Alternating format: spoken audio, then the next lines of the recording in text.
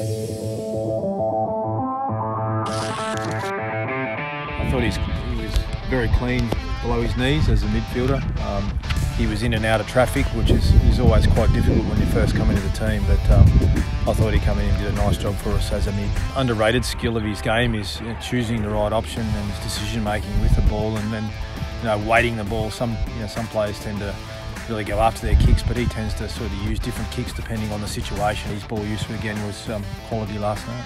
It's not always easy to keep being adaptable and changing positions, but certainly those players are really well respected by the coaches, the ones that can play two or three different positions because it is quite tough to do that. And he just takes any role that's given to him, whether it be half forward, midfield or wing, he just tends to adapt pretty well. Look at this little uh, kick off the ground. Fogarty.